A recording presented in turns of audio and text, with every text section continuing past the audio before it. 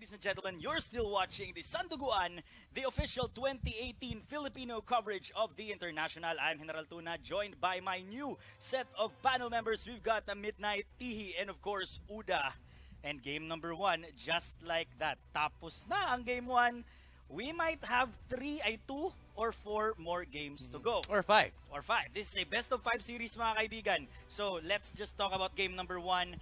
Tapos na and uh, how does it feel for a team na alam mo yun, yung uh, lamang na kayo ng one game eh. So what happened in game number one? Simulan natin sa'yo, Midnight. I just think that yung characteriz- yung characterization ng teams natin kanina it work in this game kasi ang dami ng ano eh, ang daming draft holes nila dito eh. Kumbaga ang daming butas na pwedeng abusuin ng LGD.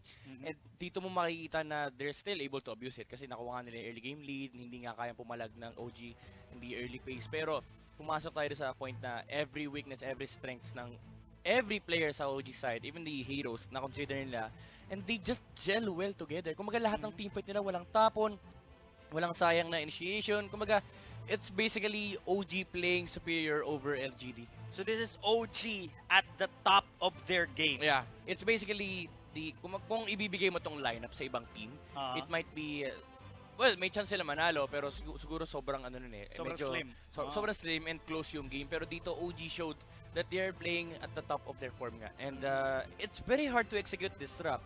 Medyo may mga conditions yung LGD, they can't afford to make so much mistake dahil yung mga heroes nila, it's not scaling. It's not, uh, it doesn't scale well against the Spectre.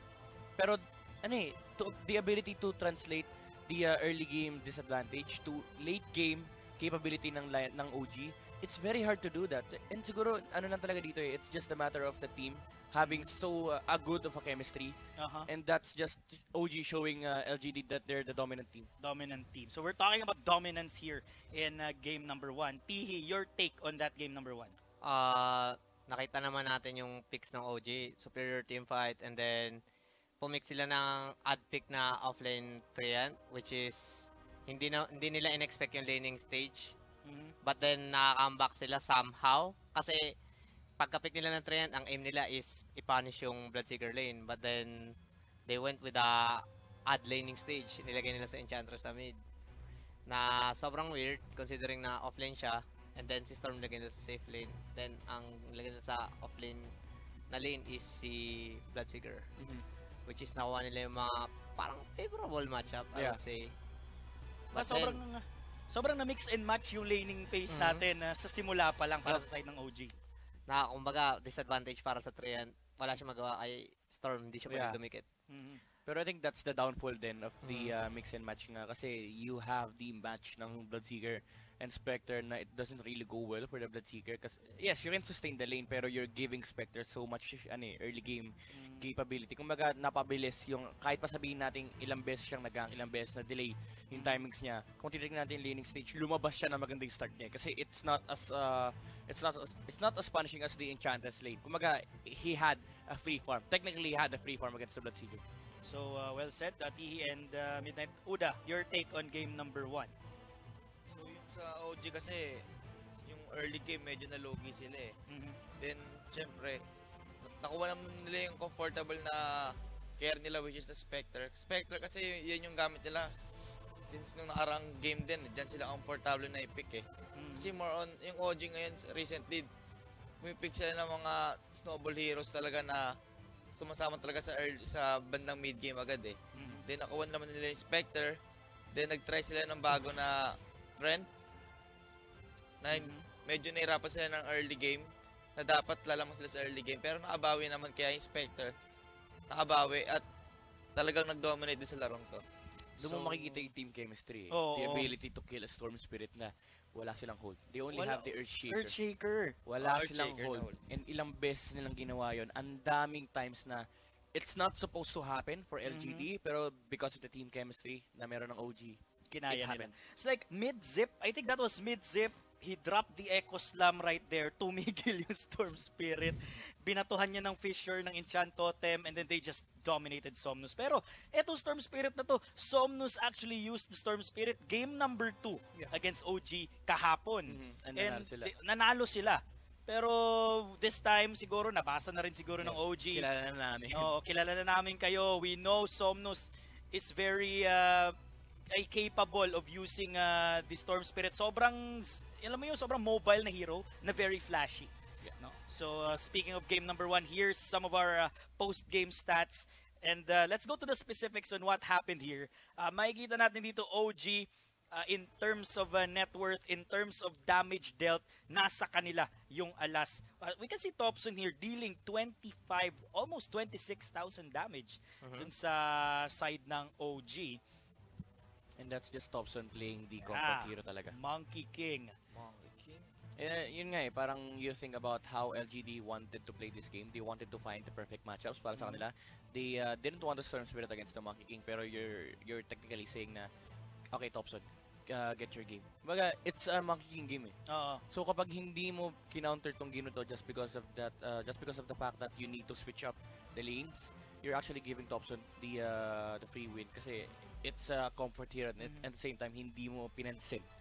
So wa- yun talaga. It's a it's a matter of uh, the matchups na nakuha ng LGD. It's not favorable for them.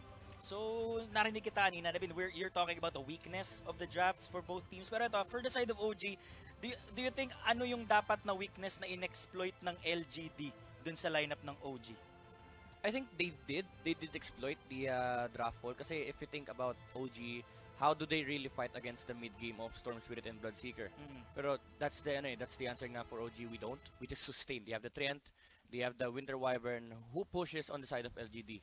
Technically none. So you have to wipe the whole squad of OG for you to push. Pero meron silang Trent Protector, so no split push can happen. So at the same time, Topson, siya lang talaga yung space creator for Ana rito. Talagang binigyan niya lang ng lahat ng space na makukuha niya. And like, just like Jules said, yung comeback mechanic ni Spectre Mhm. dito, hindi nga nagmukhang comeback mechanic kasi he had a, he had farm. Tapos sumasama siya sa mga mid-fight engagements. Kumbaga lahat ng kaya nilang i-take, tinitake nila. And Mhm. oh, just because of the uh, performance na binigay ng LG dito, they wanted the matchups na hindi nila nakuha. Medyo na-slow down yung Mhm. tempo. So yung mid-game technically never came Never for them. came. So Ah. after the uh, after the early game, nag, may konting mid-game na na-punish yung uh, OG kasi nakuha pa rin naman LGD yung lead. Pero after that, it's the Spectre show. So, It's the late just the Ana show. Yeah, it's just the uh, answer. hanggang matapos. Pero, well, uh, commendable performance from OG. But, we have to commend a specific player Yeah. who will be your, who will be your MVP para dito. Uda, simulan natin sa'yo. MVP. Your take. Para sa akin, si saan si Ana pagdating sa bandang late game eh pero para sa si Thompson eh Mm. kasi siya yung nagbigay ng space kasi kung hindi rin naman maganda yung performance sa bandang mid game hindi rin naman magkaka-space yung Spectre dito eh Yeah. Kasi kung sabihin na natin Spectre nga nagdala ng game pero kung hindi naman magandang game nung Monkey King natin talagang hindi rin hindi rin magkaka-spotlight yung Spectre dito Yeah. pagdating sa late game P, para sa'yo. Will you go for Thompson as Ah, well? No, Jerax. Oh, Jerax, the J-God. Mhm. Kasi parang yung ad pick nila na Trent Protector, I think uh, plananan nila mabuti. Bakit? Kasi imbis na ang offlane ni Seb na kumukuha ng farm which is yung mga Enchantress, those Mm. kinds of offlane center. But then, na-split yung farm kasi hindi kumukuha ng farm si Trent eh. Mhm. So, parang mas napabilis yung blink timing ni Dagger, Jerax. oo. So, parang mas nagkaroon siya ng impact sa game. So. Jerax. I'd- Uh, how about you, Midnight? I'd have to go for Jerax din. Jerax the balls, well. the balls of this man to go for those one-man egos. Mhm. Especially on the uh, Storm Spirit. Ang hirap nun ha. Oo, you hirap don't pull off know, nun. you don't know where the Storm Spirit will land. Mm. To blindly use the Echo Slam on a Storm Spirit na nag-zip, invulnerable, Mhm. to predict kung saan siya la- lalapag. Ang hirap nun. Mm. Kumbaga, this is the show na nothing matters eh, for Jarax. All that matters is that he hits the stun. Mhm. He disables a hero and OG uh, capitalizes on the uh, opening. Kumbaga, sabi ni Jerax dito, sige, ako magbibigay ng lahat ng opening. Mm. I-capitalize niya lang. So like uh, like uh, you said guys, we got uh, one uh, Thompson, dalawang Jerax. But I think for me I have to go for Thompson given it's his first time. Uh, it's his first time playing in TI. Yung total earnings niya prior to this grand finals match is only $3,000. Sobrang minuscule. Sobrang liit lang. And uh, right now, if uh, they manage to win TI, that's 11 million dollars. Mhm. From 3K to 11 million. That's a laki ng jump na yun, di ba? And of course, given na hindi lang naman OG yung may first timer, we've got LGD having first timers as well. Exnova they have Chalice. Exnova and Chalice. And I think mga kaibigan natin dito, they're rooting for the Southeast Asian Pride ex Nova. Uh, definitely, uh, especially uh, si Rain. na nandyan. She Yeah. is uh, she roots for LGD pero ako kasi I go for those uh, parang yung mga magical run. Kasi oh. Thompson is one of those uh, players na you don't really imagine winning a TI. Mm, At TI. yes. LGD can definitely win TI pero the OG squad, ito yung squad na nawala si Fly at si S4, S4. na medyo rough yung start. Mhm. They went through the qualifiers and sila yung nandito sa Grand Finals. It's a magical run eh. Kumaga, they, this guy's Cinderella run. Yeah. Oh, Cinderella, Cinderella. Ay, do you think we can compare this year's OG to TI6's uh, Digital Chaos? Uh, I, I prefer the Wings, the The- Wings Gaming. Ah, Kasi Wings ano eh, parang yes, they've won tournaments before TI pero prior to that, nobody expected Ah, them to yes. win. to actually win. Yeah, kasi, kasi parang they're still considered tier 2 team. Mhm. Then suddenly, nung dumating yung group stage, nobody was able to read kung ano ginagawa ng Wings Gaming. Kumbaga nasira lahat ng prediction. Oo, sira Yeah, lahat. true, true. And uh, for me, I think yung uh, Digital Chaos team din kasi, like, they're the team of washouts. Ah, yeah, yeah, washouts from Secret, washouts from uh, EG and uh, and the like. Diba? So, kumbaga sila na yung mga members of Patapon. Mhm. So, they formed the team. They managed to uh, go second place at TI6. But I think nakita na natin pumapasok yung mga players on the booth. The draft will be uh, coming soon. Pero eto, LGD, what adjustments should they make in order to uh, take this series 1-1 midnight? I think they have to shut down Ana. Kasi ito talaga yung ano, eh, ito talaga yung parang pillar ng OG. Mhm. It's uh it's basically Thompson making space for Ana. Lahat ng utility hero binibigay sa kanya uh, Mhm. with the exception of the Invoker. Uh, Jerax, he's the uh, enabler para kay Thompson na magawa yung space na yun. Just to give Ana the uh, the right to farm. Kasi if you look at the past matchups ng uh, OG, it's basically form the four guys giving Ana space. Talagang laban at laban. Kung mag-feed man tayo, okay lang basta Ana gets his item. Medyo nakita natin yung EG OG uh, match na yun. Yung Mhm. uh, Spectre ni Ana talagang nag-farm lang. Kahit nag-feed na yung mga kasama niya, kahit beyond God like na si Sumail, talagang tatag lang, farm lang yung Spectre, then they have, they took the win. So it's basically Ana uh, farming for uh, OG.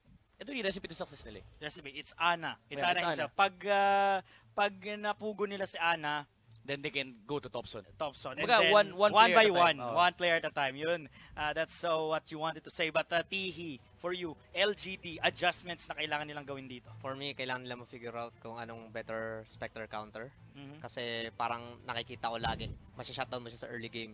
Should they kaka- just ban Spectre?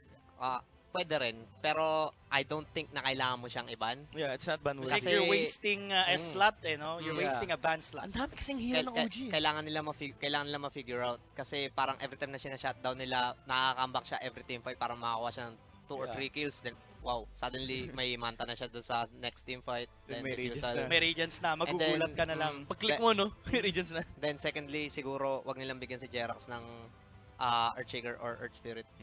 Kailangan make sure may makuha sila kahit isa man lang doon kasi parang hindi ko nagustuhan yung FY Elder Titan. Mhm. Laging nasa Yeah, backline. Parang then. Spirit, stun. That's it. Wala Wala, na yung siya. roam- Out na agad siya. Wala, Oo. wala siyang flashy play doon. Ah, hindi signature FY. Mm. So, uh, Uda, for you, adjustments ng LGD. Kailangan ng LGD kasi ngayon is number one, pigilan nila si Ana.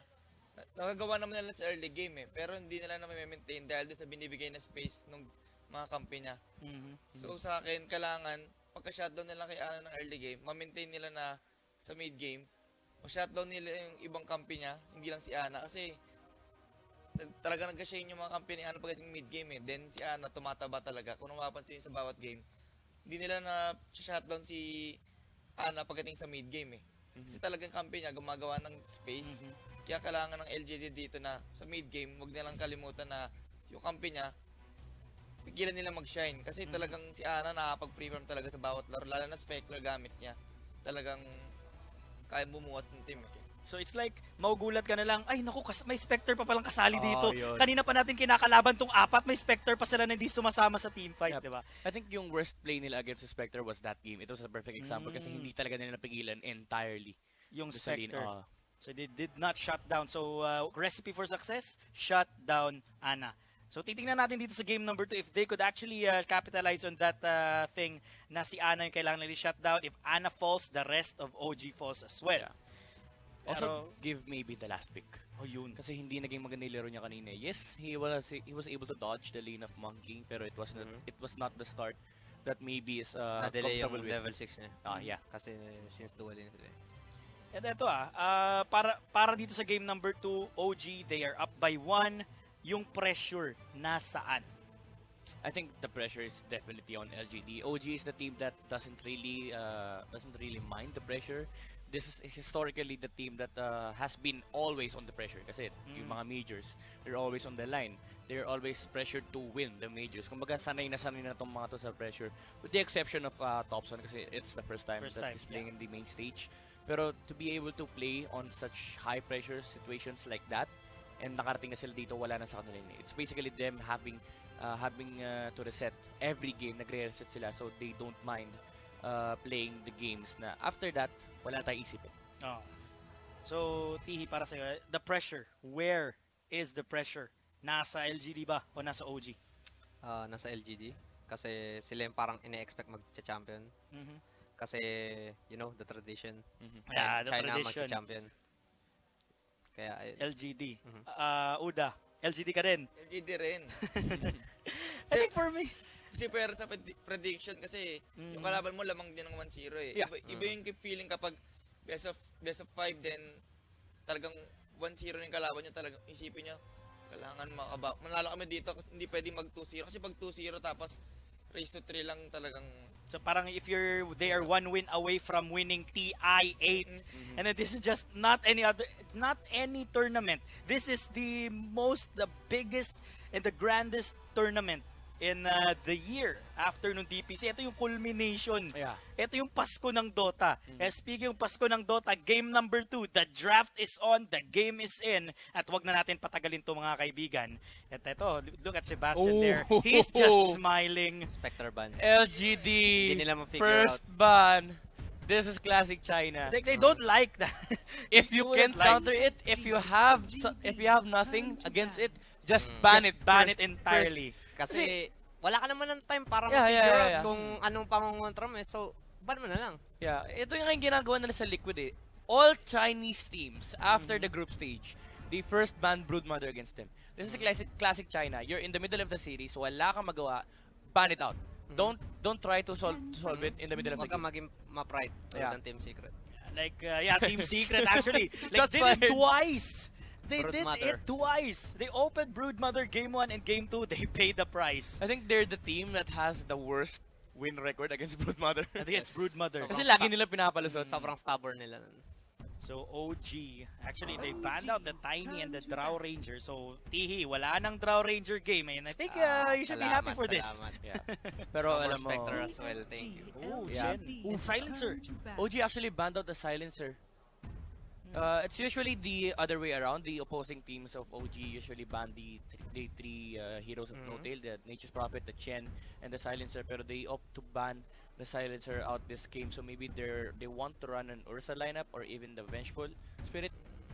Pwede. Or, Ten uh, seconds Bane. remaining. Uh, actually, Bane. Bane is good as well. initiator ano Initiator Yeah, initiator. But LGD, they're taking their time onto their uh, third ban.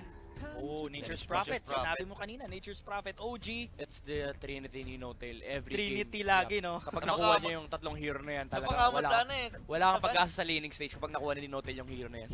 Napakamot nga. At uh, titingnan natin dito, OG, opening picks nila. pinaka-inaabangan ko dito kung sinong unang pipick ng Earthshaker. Ah. PSG. Wow! So, So, that's why they banned out the silencer. They want the IO and Gyro. Gyro ang LGD?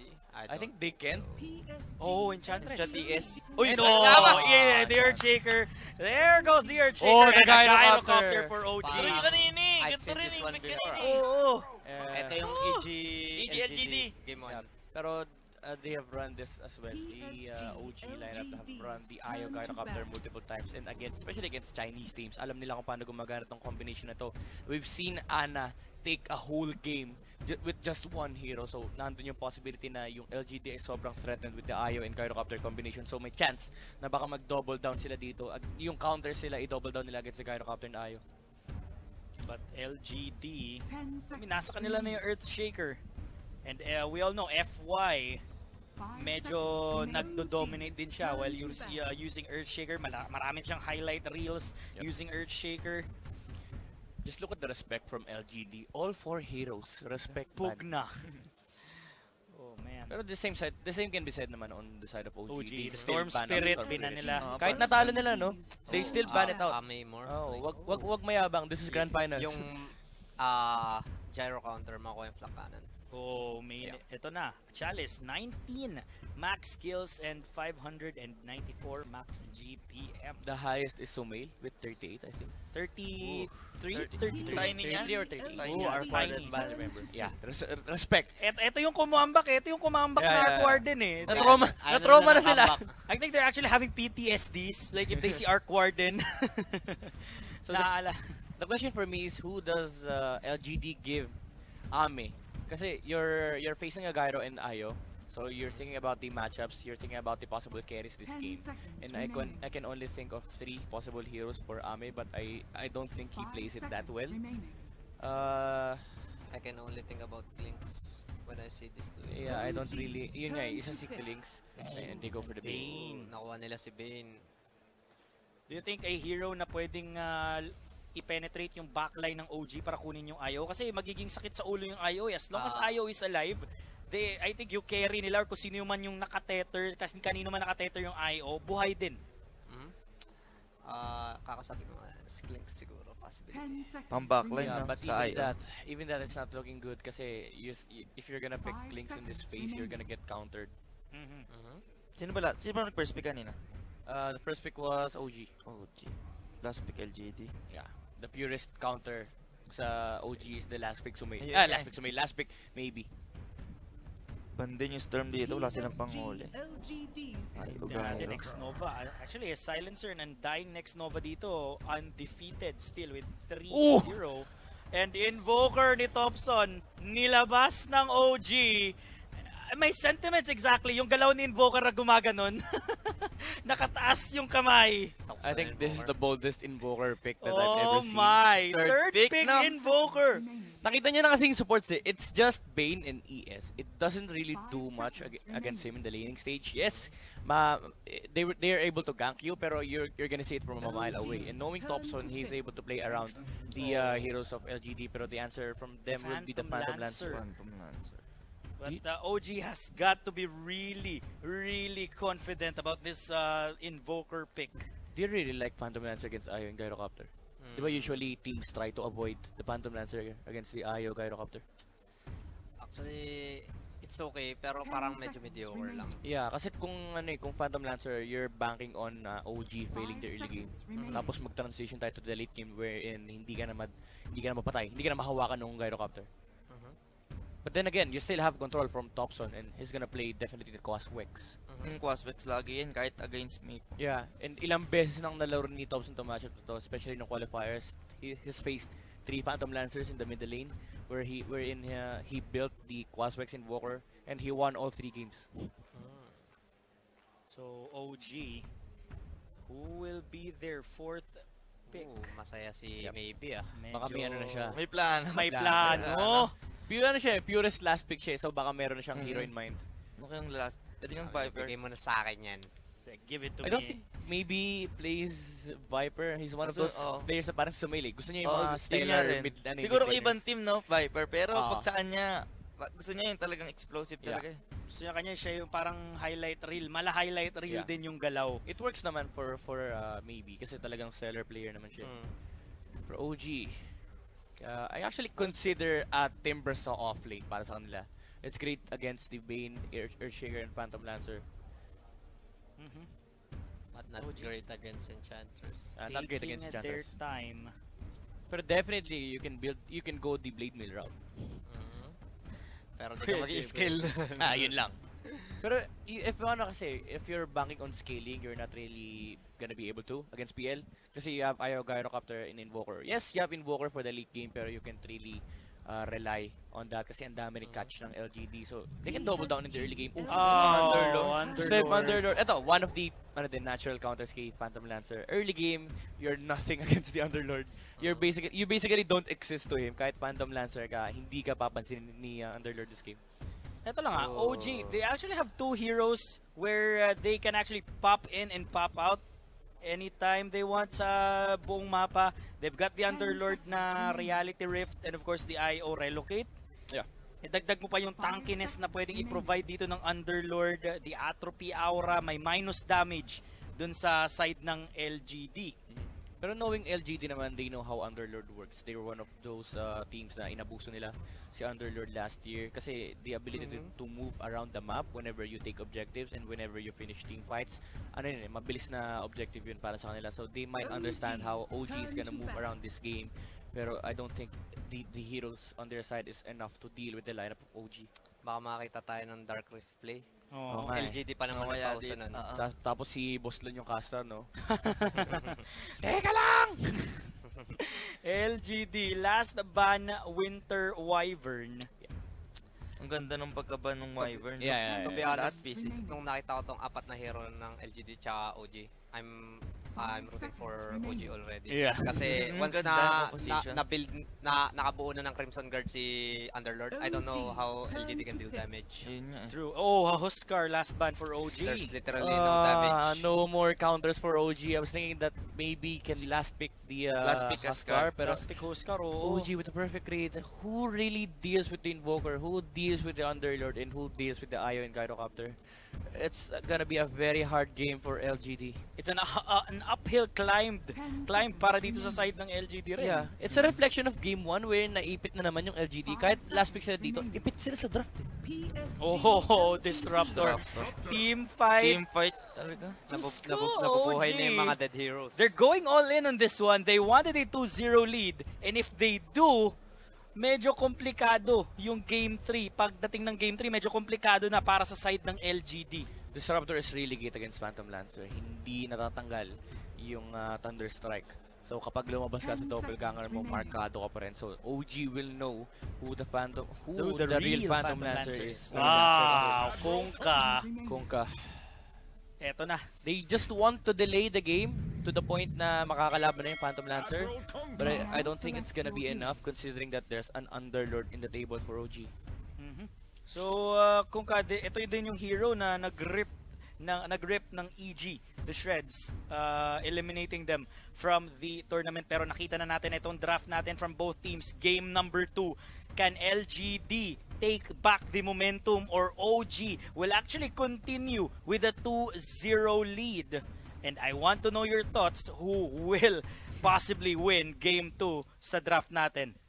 It's not the classic LGD that you see that they give Somnus the purest of uh, the last pick counter. The, the Conga is just to delay the game until to the point na makata- makalaban nga yung Phantom Lancer. So I'll have to give it to OG just because of the tempo ng kanilang lineup. Mhm.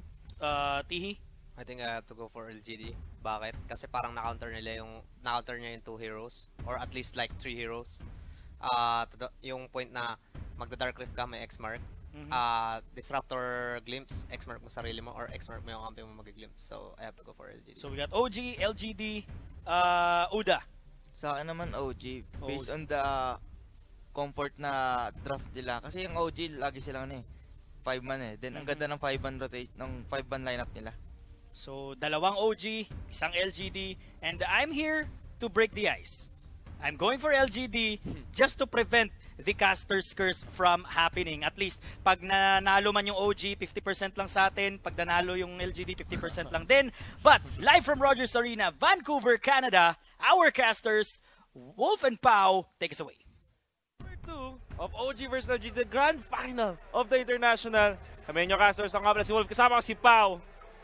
What, what a draft. What a draft! What a draft! Uh, kanina nakita natin na kakaiba yung draft ng uh, OG. Yes. Pero ngayon, comfort all the way. Jerax on the wisp and Topson. Yeah. The signature invoker. This is why I think it, it is indeed a good draft para sa OG kasi nag-evolve eh. Parang hindi yun kita ng hindi mo hindi yun action, hindi ma-action na pagda-draft. Pero it, it, itong drafting ng, ng between both these, these both two teams nag-evolve al- along the way, especially OG. No, tama. Makikita mo on the side of uh, LGD, medyo alam mo na kung ano yung gagawin nilang uh, opener. It, it's either they go for the two-core opener or for sure kukunin nila yung Enchantress sa pinaka-early. Last game, nakita natin yung pick ng Trian Protector delayed the game so much na kahit na 6k advantage, ang dami nilang kills dahil hindi sila makakuha ng Torre, hindi nila matapos yung laro. And from there, Ana took over. This game, Yes. medyo kakaiba. OG is going all in on the team fight. Tulad ng sabi ng ating panel, titignan natin if they can get a 2-0 tempo lead in this best of 5. which is very important. You know, ang sobrang nakaka-goosebumps kanina, we were watching this. Sinabi ni, no, yung parang two years ago, merong TI archi- archives na ginawa.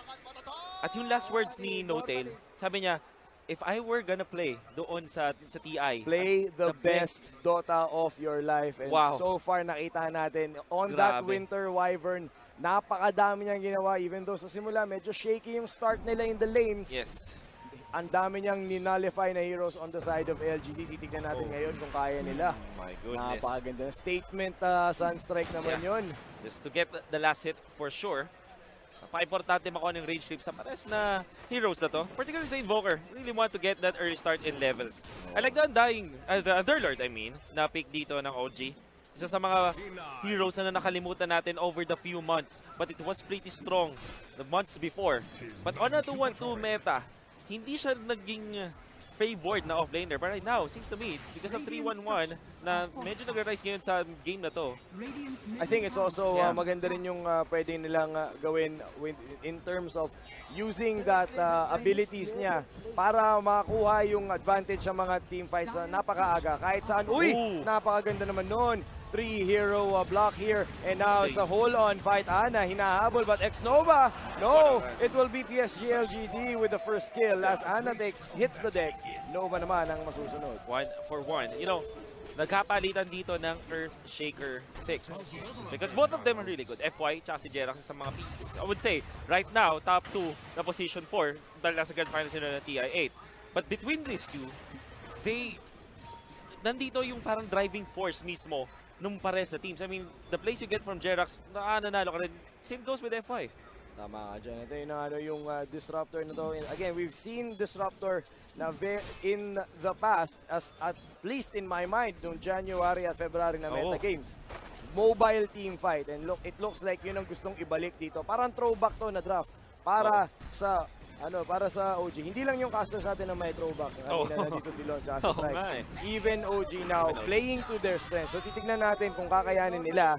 LGD nakita natin na nung game 1, ang galing nila talagang mag-lane ha. Uh, all uh, in all fairness, but OG were better in terms of the mid-game Yep. execution. Also, yung mga surprise na, na superstar performances, you can see, you definitely saw that with Jerax kanina. It would have been a different story talaga kung hindi ganun kalupit yung mga initiations niya.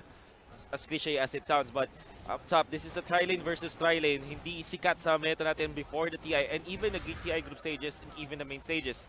What makes it so that these two cores are, you know, very needed this tri-lane. Pero mamaya na, dahil si Notail, very low, Jerax, Grabe yung labanan. Noten, gamit doon, pero mabubuhay buhay pa rin. Ayun, Nova. eventually falls. But they, I think yung XP battle is gonna favor them for sure.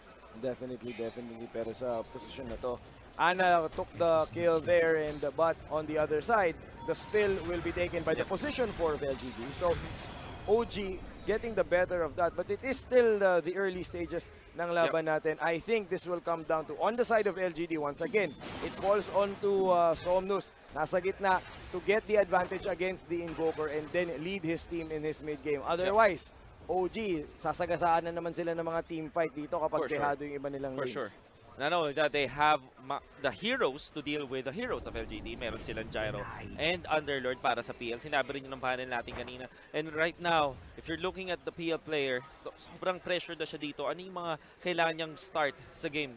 Definitely needs a good start to transition into the mid and to the late game ng mas maganda compared sa dito. Kasi, again, nasa disadvantage na siya kung core versus core lang yung labanan.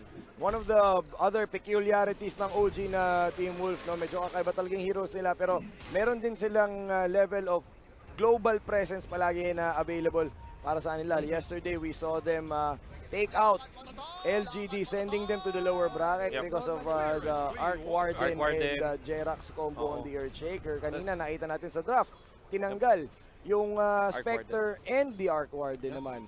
Ayaw na nilang kalaban yun. Who would have thought? na, na masasaksiyan natin yung mga games na first ban, first phase ban ang Spectre. Dito lang yan sa The International Dito for sure. yan, oo, sa Kasi dito na, ano na eh, kapag Grand Finals na, majority ng mga drafts din nag, naka-hinge towards ban, ano, deny picking o kaya banning out your opponents. Oo, eh, kailangan mo na talaga respetuhin. I mean, uy, ang ganda naman. Napakaganda para sa LGD. Now, Ana, low, napakaganda Fisher din. But again, the Ayo might be able and might be enough to sustain Ana and it will be the case. Ito na yung turn Masyadong around. malayo Yun na nga. Exnova. Nova. Napanish siya dito. Can they get more Jeras? Look at that. Saving in front of the enemy. At nabuhay na naman dito si Ana with full health once more. FY, doon sa likod. Gusto niya makadis makakill ng disruptor dito. Napakaganda Fisher but not gonna be enough. Now Tether transfers to No-Tail and No-Tail survives. FY will be punished. magic wand Grabe! Ngayon, si na tapos si Ami. naman. Naku Hindi pa po. mabuhay. Ana, again, another usage ng magic Oh, wand. no, Tether. Panalo pa rin. Buhay pa rin si Ana. Walang mamamatay sa OG. And paano sila sa X-Nova. Jerax sila ko yung killing spree. Chain feeding nagaganap LGD. Sunod-sunod na pinakain, pinataba ang OG. 2 to 6 now. And at this point, Oh. kung ikaw ang uh, ikaw ang OG, napaka-sitting pretty mo na in LGD, they need to pick themselves up. Masyadong uh, ina-underestimate nila yung ability ng uh, OG with Yeah. their multiple uh, wands to Oh. fight through all of the cooldowns nitong LGD top lane. Ewan ko ah, pero kahapon yung LGD natalo sila sa Ayo kasi hindi mo nila pinapatay yung Ayo. It came to a part to, to, to a time where sobrang bigyan ni Jerax but now si Ame na naman. Paparurutin dito, there is gonna be no may miss how to miss dahil sa doppelganger. But again, yesterday, ginamit nila yung Huskar versus Ayo, Ayo, Ayo Gyro I believe. But hindi nila pinapatay time and time again yung Ayo muna. And that happened kanina din. They went for the Gyro, they went for the Disruptor. All they did was to be sustained by Ang this Ayo. ginagawa nila dito. Medyo pinabayaan na nila yung Oh, no, uh, top lane. lane. Mamamatay uh, for Oh, now no. si Ame. But they need to get a kill here now Mongin na. onto the Invoker. Return kill para dito Oh, kay med- medyo yung sinabi na nila sa sarili nila na medyo talagang lugi na tayo dito sa offlane natin. We need to get an advantage somewhere else. Otherwise, we will fall behind. Yep. Oh, Sebastian, former captain ng OG, making Now- the transition ako top lane. Nakakakaroon na naman ng balog Ito na naman, Ito na naman, Nova damage. mamamatay. Napakalakas TP ng out. OG na top lane TP dito. OP Jerax. mamamatay. Finally, two Oh. kills ang kanilang makukuha for the price of one. support And kills. LGD will finally figure out a way to survive this top lane. Radiant's bottom tower is And the idea is to send the Enchantress. Ngayon, web lang nga lang, syempre, nagkaroon ng free farm dito si Underlord. Having a great time. And you know what? Ito yung interesting pa. Kahit pa sabihin na nating nananalo sa killing battle ang OG, CS department, nandito pa rin sa LGD. Siguro nga naman dahil pinupuwersa ng LGD, every time mga team fights, hindi na rin nakakapag-mind ng OG na mag-take ng last assist dito. Yan, nakikita natin, mas lamang yung Enchantress and even yung PL na napapatay dun sa top, lamang pa rin doon sa Gyrocopter. Kaya rin na kaya rin naisip ng LGD siguro na iba, punta na lang yung resources nila sa ibang lane, no? Yes. Dahil they're doing really really well in their other laners. Sometimes you have to make sure na you capitalize on your strengths. Oh! Thompson, Oh, no! however, nako, Whoops! had to go for another set of skills on the invoke and Yes. will reveal himself Yes. dito. And now Ame and Chalice Konting ano lang, pressure the tower. konting buttery fingers lang. Wala dito kay uh, Lobson.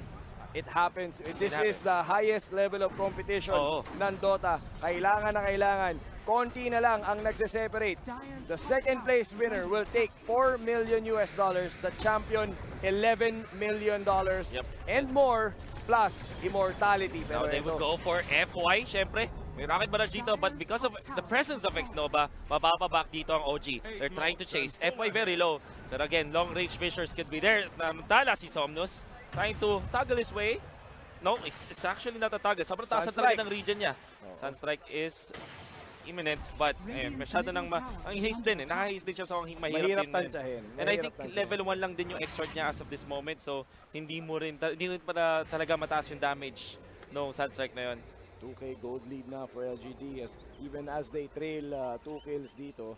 And LGD mm, seemingly uh, fixing yung uh, laning deficit nila kanina. They take their first tower. Kanina, sobrang hirap nilang kumuha ng torre. Pahirapan talaga. But now, things are looking a little better for them compared to a while ago. We've seen this type of uh, no, this type of uh, aggression again. OG versus LGD yesterday, game 2. Maganda yung naging uh, pag-download nila ng ability Oh. pag strats. Pero The ito, nandito, the stun. stun is there and Chalice will pick up another kill. Naku si Notel! Naku po, Notel. Napalayo ka, Notel! Saan ka Nasasaktan pupunta? Yun lang. Maganda. Oh, Oh! 16 health. Samantala sa gitna, wow! What a dodge by! Nova! At nandito na si Enchantress. He was Thompson over will Thompson. not be able to get away or Nasasaktan will he? Oh, three points. Chalice executing members of OG left and right.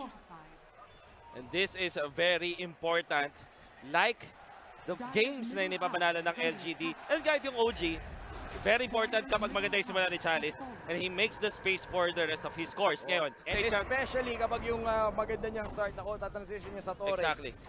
Titignan natin ngayon in this rune na makukuha Somnos, big man on campus, second in net worth, making sure that the midday lane matchup para sa kanila is Favorable. favorable against the Invoker. We saw him take down with this kung kapit ng EG kanina, pero ito, does have that invisibility, so hindi na rin siya makuha dito. Exnova even attempting a nightmare. Eh, How many times in this game, in this uh, tournament, makikita natin si Exnova with a emphatic nightmare saves. Oo, Nightmare napaka, dodge. ano, napakabihasa niya on Oo. this hero. The Bane Elemental, very, very versatile na hero. Pero Samantala, ito, sa baba nako, nako po, si Note na naman. Nako po, uwi ka muna, kuya. Sabi ni Chalice. Facebook muna at uh, dead for another 20 seconds. Si uh, No-Tail on the Disruptor. Speaking of uh, heroes or uh, players with uh, signature heroes, Chalice. Yep. Medyo unsung siya na hero. FY superstar. Somnos a superstar. Ame a superstar. But Chalice has been one of the more stable Yep. Players here for Tornado LGD. Pero naku, ito, ingat-ingat din, pare ko. Pero ito ngayon, There's the Chalice glimpse back. makikipaglaban, the the glimpse back. Pero nasa labas, nandito Naku lang si. Chalice. Mukhang makikipagpatayan ba para another Naku po. chaotic team fight an OG. Nandito na si Seb, nandito na si Jerax, nandito rin si Thompson. Actually, almost all members of OG, but Chalice is fighting and he's gonna take one for Uy, the team. nawala Naku na. po. Naku po, umalis na. Di na ayaw ayaw. coming back. Naiwan nata yung partner mo sa Echo dance. Slam. Nandito, dito. the Echo Slam! Hindi enough, Jerax. Ikaw naman ang isusunod Whoa, what ngayon. a body blast from Seb. Napakagandang body block by Seb there, but the damage has been done. And he's not done. Chalice, gusto pa dito si Seb will drive away itong Underlord. Nagkamali siya dun, Bobby. Nahiwan niya yung dance partner Yep. niya. And because of that, the gyrocopter, alam naman natin, the abilities are Oh, good. no. Pero nandito, X-Nova. Oh. Seb will fall here. times? Or will he? Yes, he will. Naku, Okay. napakatagal naman. Makakapatay pa ata siya. Oh, na naman. And X-Nova once Grabe. again. Oops, ay. Yun, namatay. The burn will get him. Finally. Malapit na sana yon. Ayan. But they get a consolation prize there. But it's two heroes for the price of Yep. three. I think sobrang importante na nabato yung ghost ship doon ni uh, Somnus. Giving them that Oh, ito na naman. buff. Nako, no tail. No tail. Medyo Trap. na-trap na naman siya sa sulok. Attacking himself behind the trees. Eh. While all of this is happening, Ame, the position 1 carry of LGD, will find the space and money. Pero ito hinahabol na siya ngayon. Double out. Will not connect ang tornado ni Thompson. As hahabulin siya ngayon ng OG. No? Oop.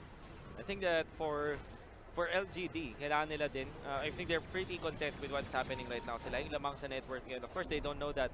Pero kung i-judge lang nila yung mga items, especially on the Phantom Lancer, it seems to me na mararamdaman nila na kahit pa na, na-pressure sila sa unang stages ng game, nakakabawi sila ngayon. Look at the recovery mula kay Phantom Lancer. Napakaganda indeed, uh, paring Wolf. No? Plus, they've taken an entire row of Tier 1 towers Yes. all across the map, which gives them the liberty ngayon na mag-smoke play Grabe. at maghanap ng bugbugan. Radiant will scan. They'll find uh, me- multiple members here. And I mean, speaking of bugbugan, kita mo yung wards nila dito, talagang nag-aanap sila ng bugbugan somewhere in the map. FY, long range Fisher, will connect. May torrent ba? Hindi na tama dito, na pero hinahabol pa rin. yung po, stun, na-free X-Nova! X-Nova na naman! Ilang beses na natin nakita yan, paring Wolf X Nova coming in from the flank, catching an important member. Bane Elemental Lord. Grabe, at may mahuli yata sila ng Disruptor dito. Is it in the case? No. They don't know will where... go five man here in the mid lane. Again, they need to take towers. Global presence means very little in the face of LGD running the gamut of the map. Yep. And now, 5K uh, okay, si, si is under Invis dito. Trailing FY. Wala naman siyang legit na kill potential dito without the static storm. signal niya kanya. Ah, meron naman pala kasi noon. Oh, meron kasi sila. Naman. po! Kaso, The! Yun nahuli! lang! Oh no! Pero dito si Underlord. tayong Naku po, gilips back siya dito. Oh, Nandito lang. na nga si Ami. No more glimpse by the way. So mahirap na tumakbo dito. Yun ang kaperno. Meron nga namang relocate doon. Nahuli nila. X mark the spot. You cannot relocate from X marks the spot. And sabi ng ating pa- panelista, pro player Tihi, Oo. that is the hard counter to the global uh, presence. Oh, no. And. Jerax Uh, will be able to escape. Yep. Lo, short range and chat. Oops. What a damage. Ito na naman. Express ba? Torrent. May dust pa kasama. Kitang-kita ka dyan. Huli ka, boy. Saan ka nakakita? Yung pungka mo. Meron dust. So kayo, guys. Always bring dust kahit ano pang kahit carry pa kayo. Diyos ko. Ano, natawa dun. Natawa ako sa sinabi mo doon, Bobby. Ha? Pero eto, 6K gold lead for LGD. Mhm. And we, we've seen this kind of momento and tempo coming in from this LGD squad. Ang tanong na lang talaga is, can they close it before Ooh. makaka, ano, Wait lang. Is, tama ba nakikita ko pa rin ba? Third lowest. Thompson Invoker. It's a hard, hard life there for an Oh. Invoker. There is a reason why Invoker players are few and far in between. Mm-hmm. Because when you fall behind, you stay behind on this hero. Definitely. Naspatan na naman sila dito. Mas patan- nakita na naman sila. They need to back away from X-Nova. Si X-Nova, naglalaro siya sa, essentially sa base ng kalaban every time. And it's probably why LGD are always finding his skills. Yes, 15 it's just kills. that's the map control na kailangan nilang uh, gawin dito. Yep. Otherwise, uh, OG can farm wherever they want and then teleport gank wherever they want. Yep. So they need to contain them, let them feel the pressure in their own Yep. house. And then slowly but surely take the towers na dito ngayon sa top lane. Mukhang magkakaroon ng encounter dito. Karoon nga ikwento nakita Opson is here, Okay, landing on one, pero Chalice, matapang na tao, napatakbo ang kanyang uh, kaharap. Grabe. Yun na yung ano, yun na yung parang titigan eh. Titigan, Oh. ano, ano. Ano, ano? Likod ng gym, likod ng gym, mamaya. sinisindak lang niya. Oo, ma- nasindak. At pero sa round na yon, eto Well, si Seb, Seb will just TP out. Gagamitin niya kanyang Dark Rift. Not a lot that they can do without the X mark to bring him back and root him into place. So, naman this, yung ating Underlord, wala pa siyang Crimson Guard niyan, pero he is tanking through all of the damage mula doon sa Phantom Lancer. Problem is, mamaya, kailangan magiging worried pa siya doon sa damage naman ng Kongka. Hindi mo Enchantress now. Speaking of damage, Chalice, however, will be slowed just enough that he will not be able to land the hits. Kongka with the Shadow Blade. If Thompson shows himself, this is gonna be pretty bad. Ayun, naku, nagpakita siya, pero again, uh, Somnus will not be uh, ve- very aggressive doon. Napakaganda so far. But again, OG still has a way back in. Makikita natin, paakyat ng paakyat, paunti ng paunti. And a late game invoker is still very, Oh, very uh, scary. Pero yun, nahuli nila rito. Pero medyo makunat na konti. Makunat ba yun? The doppel walk. Doppelganger will be there, pero huli pa rin. siya. They found him finally. Yep. OG finding an opening here. They needed to commit everyone. Yep. But You know, you were you were talking about the late game pa. Tingin mo ba, who, who, if, who would you favor the late game dito sa lineup? I think in this situation, I will favor the the team with the Phantom Lancer Okay. and the Kungka. Okay, Because that's a go. lot of ano, eh, that's a lot of late game damage na different true. sources. That's true. However, if OG managed to get back in, dahil kahit na they don't have control of the map right now, it's not like they're very, very far behind. Yeah. They will have the team fight control. Yeah, I agree. So BKB is very important for LGD as the game goes on. It's- definitely BKB is very important for LGD. Not only that, pati yung management nila nung kanilang mga BKB charges did, for sure.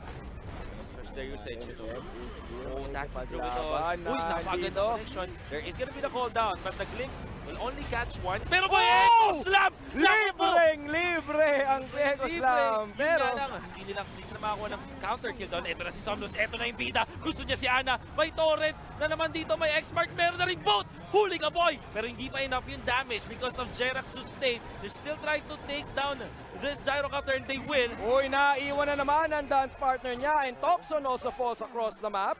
So that is two cores Yep. down on OG once again.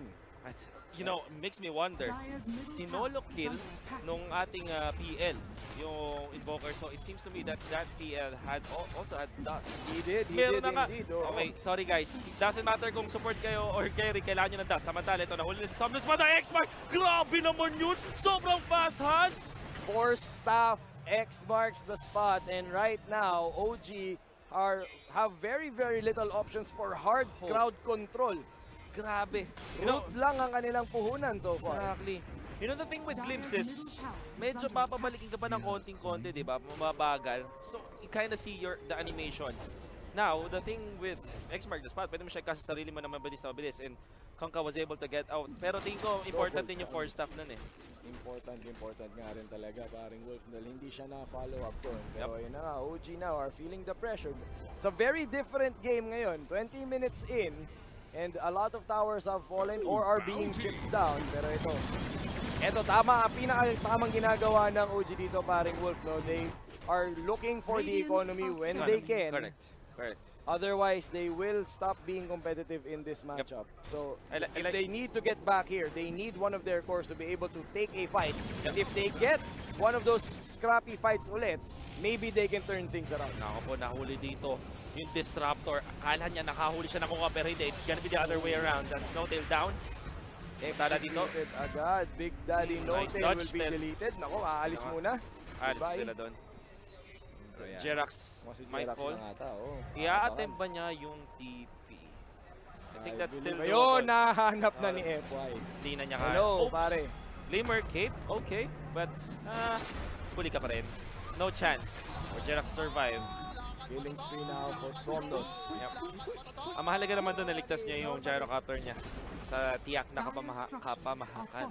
Samantala, ang LGD course ay uh, nagkaroon ng napakagandang time dito sa ating laban. You can see Phantom Lancer, yung Kungka, even yung offlaner nila, top of the net worth chart. So if you're LGD, content ka naman sa game. Or do you think, maring Pao, do you think that LGD should force fights or masaya pa sila dito na i-drag yung game for a little bit? I don't muna. think that they should force fights kasi Okay. that's one way that they can lose their advantage Okay. paring Wolf. No? Lalo na Okay. kapag napa-force sila at napamali sila ng uh, pasok, what they should do is ganito lang, rinse and repeat, get their objectives, make the rotation, kill off a farming na core. Kasi one thing na that's keeping uh, keeping them at bay is hindi sila sigurado kung kaya na ba makipaglaban nito Gyrocopter. Ito ngayon, makikita mo, Thompson to try and push the tower here pero madedenay pa. Ooh, deny sa mukha. Samantala, F1, nahuli siya dito ni Somos. Nakita ka na ngayon pero meron pa silang detection. Wala, na Wala silang na. dust. Marami na siyang item. Masyal- wala Core na talaga siya. Core na talaga siya ngayon. Yun lang. But, F1, uh, X-Nova wants to say something else. Nahuli nga lang siya dito. Could be a kill onto the Bane. Medyo, medyo matagal-tagal lang nilang inugugol dito, but it's fine. That is gonna be a free kill. there nga lang. Oo. Pero ta- nakita mo yung ginagawa niya, di ba? He's putting those wards here. Kasi parang napapansin nila na nandito lang palagi yung OG. Yeah. So they need to get an objective, make the rotation into that side of the jungle. Otherwise, they can find themselves in an unfavorable position. Gyrocopter, di na, ano yan, very pag mali yung laban nyo, nasa choke point kayo, kahit na advance, kahit na in the lead kayo in terms of items, sometimes they can pull Yep, off for sure. Oh, Somnos, meron siyang haste rune dito. Naghahanap siya ng target. Not find any just yet. Medyo sinusubukan niyang umiwas sa mga central bars. So far, he's been doing a great job. Yun nga lang, eh. He will give up on the kill. Oo, saka nagpakita na rin siya here in the mid lane. Pero ito, top lane naman, OG splitting the map. Again, getting the economy where they can. Mhm. And tr- going, they're going to try to get a fight later on once they hit their next round of items. There is. This Ito na, the rotation that we were talking about, paring Wolf. four-man squad without a PL. definitely a kill threat sa kahit sino man. Unfortunately, wala silang matatagpuan dito sa may baba. The BKB, na katulad ng pinag-usapan natin, sobrang crucial. Eh, makukuha nga di, nakuha na dito ni Kongka pretty soon doon sa PL. Pero speaking of items dito, parin pa, sobrang nasusurp, sobrang na-amaze ako kay FY at kay Jeraxon how they are very creative with the Aghanim Scepter on Earthshaker. Definitely makikita mo, ang dami nila uses. It's a Swiss Army knife para sa. That's But, ako, LGD, makikita nila. Huli ka, boy. Na-stun, napakataas hits. Uy! Okay. Parang Okay. nagkamali si, ah, parang ano dun ah. Sabi ng Slova, oops, wait ka lang. Pero si Note, of TTP yan si Ame. Abot ba? Yes! Uy, umabot pa. Pinoy na Pinoy, nagtira pa ng ah, ulam. Days of shame. Oh, pero they will be able to secure the Roshan now as without their uh, supports and without their item timings, they cannot really uh, contest. Yeah. Nakita naman natin, no? We called the we called the BKB, nandito na yung BKB nila. We called the gyrocopter farming and nandito na yung farming ngayon. The Exactly. question now is how do LGD want to play this match? Well, ang tatanungin muna natin dyan eh, OG dahil gusto nila contest tornado hits on many members of LGD. Tatlo, in fact, at tatamaan sila ng EMP.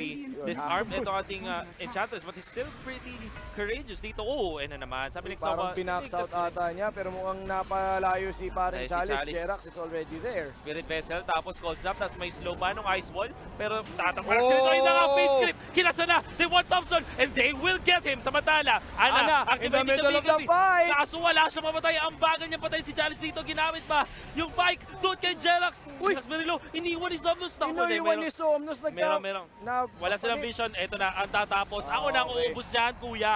Finally, and now Ana, without a choice, kailangan niyang bumili ng TP and he will teleport himself to safety here. The rest of OG are still in this area, but they will be stunned into place. Double Another kill. kill going the way of PSG LGD. Tatlo ang kanilang nakuha doon. Yung antics dito ni Chalice, catching OG off guard. Medyo na ano sila eh, na off their feet, I guess. I can't look for the term, pero parang medyo nagugulo sila, eh, look like that. Like that engagement. Oh, nakukuha sila flat footed. Oo. Medyo hindi masyadong pabor. They are in the fights, but in awkward positions. Exactly. Especially dun sa kaninang laban kung saan nahiwala yung Invoker. I mean, it was a good angle, angle for uh, Tornado EMP. Pero nahuli nga naman siya doon ni Chalice kasi well, literal na naglakad matatag lang dito si Enchantress. Pero At dahil doon medyo delikado pa rin to paring Wolf. Ha? 13k now on uh, the gyrocopter. We saw him stand this ground in the middle of the fight. They did manage to get some exit kills. Yep. And that was because na- Ana is one of those players na hindi mo pwedeng pabayaan. Hindi ka pwedeng kumpiyansa laban sa kanya. definitely. He may lose the early stages. But, uy! Ano ba naman yun? Telepathy! Grabe! Mapak notes, pero mukhang mababa na siya dito. There's the static storm. May bit of malice na rin. Cool down is here. Nakaganda na namang save. Mula kay Xnova. In comes the ghost ship. Ame here. Onto Jerax. Pero pinalipat din sila dito. Seb, was by tracking through it all. Kaya nga lang, napatay na yung Ayo. Wala na silang sustain. nandito! Echo slap! F-boy! Nahuli si Thompson! Patay yung Invoker dito! Patay yung again! Gyrocopter! Seb, dalang! Seb, ano saan titira? ka He will pupunta? Apat ang napatumba! In exchange for one, LGD win a team fight! What an Echo FY slam. using the Echo Slam just to keep Thompson na nasa likod lang. Bato siya ng bato. Keeps him in place, kills him Oh, off, and then no. uses the Fisher pa to catch another two. And just like that, LGD will break apart the wall of OG heroes that's been keeping them away from the base. My Mid goodness. lane ngayon magtutulak para sa LGD and let's see if they're going to try and force some decisions from OG as they make their way to the high ground or will they just go and secure the jungle areas? Nakita mo, there was a good X-Nova kasi mamaya makikita natin yan but we'll try to go to Chalice. Chalice is very tanky na ngayon kasi may Hood of Defiance na siya and Pike, kita mo yan, yung X-Nova save. Tapos nandito na yung Ghost Ship. Now, ito na yung problema for OG. Ang hirap na nilang patayin because of the RAM. Ayan, kahit pa sabihin natin mataas yung damage ni Ana, it took them so much time. And Echoes lang dito mula FY. It doesn't matter kung isa lang yung katabi niya as long as makontrol niya yung, enough, yung important na hero. And makes me wonder, ba, sobrang gustong gigil bumatay yung Gigil, Jerax caught Yeah. out of position once again and without that Wisp player, Yeah. napakahirap ng buhay ng mga OG scores ngayon, especially because they're trailing behind. May mo naman, Phantom Lancer, another damage item, kompleto na sa kanya. MPB, sunod na ikakasa, dito ni Ame. And I, I have to say, nung laban na rin na yun, paring Wolf, napakaganda nung ginawa ni Chalice to start the fight. And they forced OG Yep. to react to the fact that na-catch out yung kanilang uh, underlord player si Sebastian. grabe din yung grabe rin yung feel yung pagiging mechanical player. Pero mamaya na si FY dito, gusto lumaban kay Notail kahit mag-isa siya. Actually, what was that? There was a glimpse after the blink out. So napabalik siya dito. Inigit-latan really? siya. Notail, Hinahanap na siya makakapag-TP out. No more turret. Uy! Uy! Namo, hindi ka na. So, ito lang din sabi ko kanina. Siguro nagtatakita, wala naman sentry ward. Ayaw pagkwentuhin dahil hinabol dito si Chalice.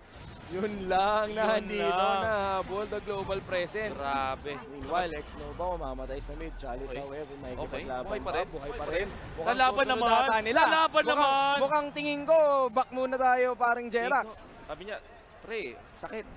Ang mahirap doon kapag nabatuhan siya nung uh, impetus habang naka-tether away siya eh. So here's the thing. Kanina nung si Chalice yung naglalakad siya, wala silang sentry wards pero alam niya na may tao doon kasi may nag-block sa kanya. And he knows. And eto naman si Thompson, nagtas Round agad. 2, nandito si. Somnus. Huli ka na naman. X-Mark sa spot. saan ka pupunta? Samantala si uh, FY dito, hinahabol si Noten. Nandito na si Amay, 500. Phantom Rush Range does it for the PL. Dalawa na yung patay dito sa OG. Talk about ba? global when you have the global lineup but LGD looks for the fights in two areas at once. Oh, Mukhang may hirapan kayo. Okay, may ikipaglaban. Mamang Ame. And I like the SNY build dito. Alas of the fight ako po, nakahuli na naman. Stomos. Another one. Somnus. Kaboom! Line them up and knock them down as the Konka takes another hero out of the map here for OG. Kami, with this fighting build, susunod na niya yata dito yung kanyang Heart of Taras. Kailangan dito, niyang gawin. Yun lang, FY, nahuli, FY. Nahuli si Seb dito. Ito na. Nandito na ang Enchantress. Seb, Naupo. kailangan mo na umalis. Seb, kailangan mo na umalis. wait lang, wait Nandito, lang. uy, nakawala pa. Maganda. wait. And Ame might die. No, yun, inalis. Kamuntikan ng ma-trigger Kamuntikan pa. yun. But, uh, okay. Sunstrike! Sunstrike! Sunstrike from downtown! Thompson! There you have it. Clay Thompson for three as Oh. they take off. Clay Thompson. True to his The name. ages away from LGD. Yan ang Sir Chip, si Somnos, gumugusto dito kay Ana. Kailangan niya i-activate yung BKB else siya at hindi niya yung ginawa na Pagpapanta, po. Nandito naman pala si Jerax. Nandito na rin yung rest of OG. BKB activated by maybe. Okay. They ah, will ta- try ta- to back tamang away. Back na po ata. Tamang back na po ata. Feeling ko back na. Feeling ko back na. May static storm nga lang. Kumonekta sa tatlo. Meron na rin ah, static storm. At nahuli nila dito si Notail sa may bandang kanan na ako. Oh, they- apart na naman sila, Kuya Pao. They have now. Sunstrike. Nako, Sunstrike ulit. Ah, not this time. Ward lang ang kanyang tatamaan doon. And now LGD will use the uh, X marks again. A very, uh, it's a very versatile skill na kanilang ginagamit dito.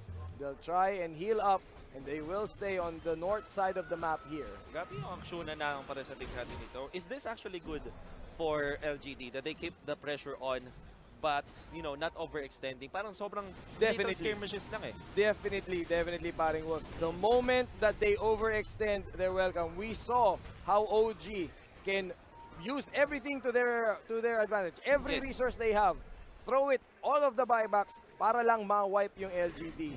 And they are not going to put themselves in that position. Otherwise, yung 12k gold lead nila will shrink down to 4k, to Yep. 3k, to 2k until OG will once again overtake the late game. Nakita natin yan sa previous game, especially dun sa kanilang final match of the day yesterday. And you don't want that to happen again if you're LGD. Tala. BKB is Infinix for Ayo. Okay. BKB Ayo. Only Jerax can do it. Kailangan na ata paring Wolf eh. I agree. na ah, ano siya eh, na masyado siya naboboset dito. Now Somnus, once again, Naman. will find Oh, him and It's Chalice. Yeah. Oo. Nice assist. Nice assist mula kay Chalice. 14k, gold lead 33 to 17. LGD.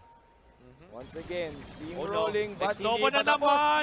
Nakakita Kaya na naman ng nila yan? target. Hindi actually Kaya the chain stunts will be there. Okay, Parang kaya ang naman tanong, pala. Kayang kaya. Kaya Two pala. supports. two supports. Taking down the gyrocopter helicopter man. Eagle 1 will go down here. Grabe, Black Hawk down. Nandito na ngayon ng LGD. Now they are in a prime position to push. Only Topson ang kayang mag-defense together with Seb. But two lanes na naman ang itutulak just like in the EG game natin kanina. Satanic picked up by Ame. Pinatulog dito yung Underlord para walang defense sa X-Marks na spot. Nakarinig ko na naman. Nahuli din naman si Thompson. Nahuli ka naman. Patay ka na Thompson naman. is down. Wala siyang buyback. In, speaking of buyback, buyback dito si Gyrocopter. But can they defend only the four of them? Helicopter man, may magagawa ka ba? Oh, no. Ame here in the bot lane. BKB?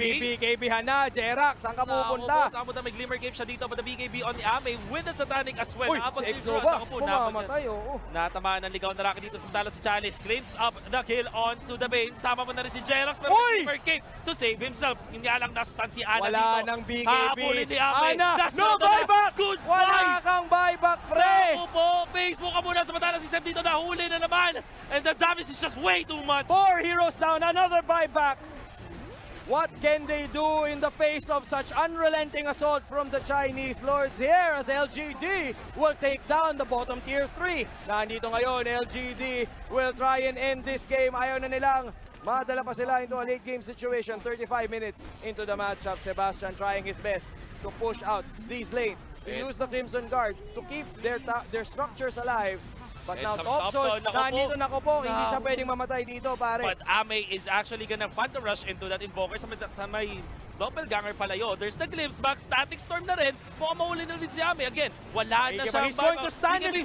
Satanic! Grabe! The Satanic here! BKB! Is up! Yes! Oh Hindi na my may goodness! ikipaglaban. May ikipaglaban na sa Police Maynila. Kailangan nyo nang dumapa. But no, Oh, eto, even- mapapabak na muna sila. Ayaw nila mag-overextend. They learned their po! lesson. Huli ka! Overextension ba? Eto sila! Echo Ginamit na rin! Slam! Nahuli na naman sa ito. Fisher sa dalawa. Habang sinazona nila dito yung mga members ng OG. Are taking the towers, the barracks. Tornado. Desperate Casually. defense now. Um, Ame trying to end this game together with Somnus, but they need to get back. 10 seconds left for the gyrocopter to come online. And OG managed to defend their base, but they've lost a lot of resources doing so. You know, OG, binan nila yung spec. But they forgot the favorite hero talaga ni Ame. How many majors na yung naipapanalo ito or napaabot sa Grand Finals. The Ame Phantom Lancer, kitang-kita natin kung gaano siya ka-boss dito sa game na to. I mean, even up against three members of OG, sobrang low na niya, may static storm, all that jazz. Ang ginawa lang niya sa Satanic, sabay hampas. He was able to win it for his team. they Nako found po! Thompson. Huli na Nandito naman. na, deleted off the face of the earth. Samantala, As uy, is now on a mega kill. Ito na ba? Nandito pa rin. Another fight here. And Ana Somnus is in the back line. Oh, no. Hahanapin siya. Ame was looking for the kill but no, they will Nako. settle for. Jerax. Samantala, si Sep, nasa gitna na naman ng laban. May Dark Cliff siya dito. Pero matatakbuhan ba niya? Yes! Yes, he will. Kaso But may X-Mark. dito, Wala. X-Mark Dito ka muna! Uwi ka na, di na kami galit. Hindi na kami galit indeed, pero mapapa-Facebook pa rin si paring Ah. Sebastian dito as LGD now minuto. have finally So, exhausted the buybacks. Only the Ayo has a buyback now, but not the kind of hero that you expect to mount a defense here. They do have the gyro, but LGD, they have an army. Kaya, kakayanin ba ni Ana And dito? take a look at that, pare tinatayuan na lang nila yung flat cannon ni Ana Exactly. without the Tornado. rest of his team na lang naku, naman. ah, abutan ka na naman di ng na naman na-no-ship. on two! Oh no, Thompson Thompson! Will survive! Nandito ba? Nandito yung Dust, Echo slam Echo slam. Inaabot na. Samantala si Janice, pinaparuro si Jeros dito. in Hindi the fountain. Hindi na umabot and now only Nautil on the Disruptor together with Ana. And it looks like game 2 will belong to LGD. GG will be called. And LGD, sabi nila hindi complete sweep to. We'll take it complete. back and we will win it This is a 4. finals that's worth watching. Hindi pwede, hindi napapayag si FY na ma 3-0 siya. No. Once again, away from the ages. It happened in EI4. Kung makikita mo rito, the players leaving LGD looking more confident. OG taking it in stride. 1-1.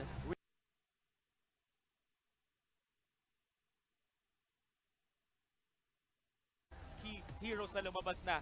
And heading to game number 3, I think na medyo kailangan nilang isipin yung mga heroes na Earthshaker, the Definitely. Enchantress from both teams, and also the Phantom Lancer, I would say. Maraming silang uh, maraming silang natututunan from each other in this fight. They seen how important it is for LGD to use their ability to lane perfectly That's and take towers. If they're able to get that game plan, it is very hard to stop a rampaging LGD team. But on the side of OG, even if dehado sila, they're very, very good at getting those resources para ma- That's to true. remain competitive in the match. That is true. And you know, speaking of resources, I think napaka-importante nung kahit napapatay yung top lane dito ng LGD, they are still getting the economy battle by getting the CS. Definitely. Well, for sure, marami pang masasabi yung panel natin. So, at that, we were your casters. I'm Sam Nobeto. He's Paolo Bago. Babalik natin yan sa mga panel natin. And just like that, game